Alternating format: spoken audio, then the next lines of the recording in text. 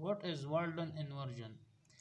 Walden inversion is the inversion of chiral center in a molecule in a chemical reaction because a molecule can form two enantiomers and uh, around a chiral center uh, hence the Walden inversion converts the configuration of the molecule from one enantiomeric form to another actually this is the con uh, conversion of uh, one uh, of a molecule from one enantiomeric form to another for example if we have in our D uh, dextro molecule it will convert the Walden inversion uh, will convert it into lev, uh, rotatory.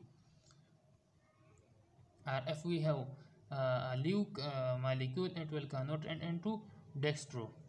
For example in this reaction we have a uh, D malic acid which uh, the, which will treat with PCl5 in aqueous potassium hydroxide. It will give an intermediate. Then it is uh, reacted with uh, uh, moist and along with silver oxide. It has converted it into L malic acid. Here D is OH is at the right hand side and here OH is at the left side. So the Walden inversion uh, notes the configuration of a molecule from one enantiomeric form to another. If we have a uh, we can take another example too. For example it can also convert the configuration of glucose molecule from D to L and from L to D.